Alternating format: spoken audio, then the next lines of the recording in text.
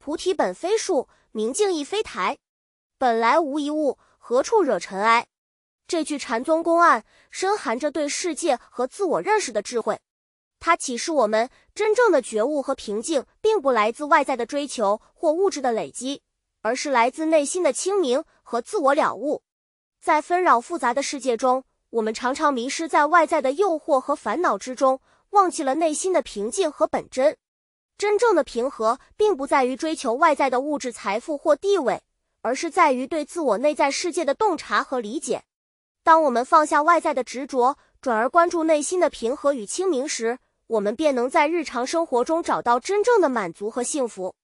所以，活法的引导在于回归内心，寻找那份超越物质的宁静与智慧。在日复一日的生活中，保持一颗平静的心，关注当下，洞察内心，从而达到真正的自由和解脱。